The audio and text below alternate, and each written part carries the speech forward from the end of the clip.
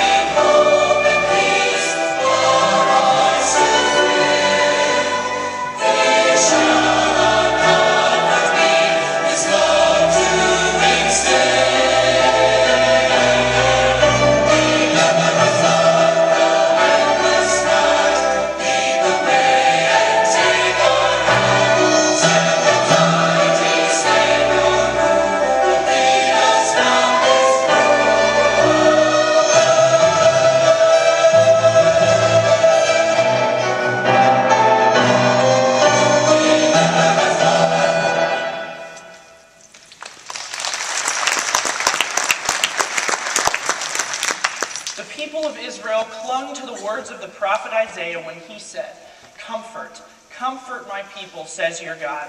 Speak tenderly to Jerusalem and cry to her that her warfare is ended, that her iniquity is pardoned, and that she has received from the Lord's hand double for all her sins.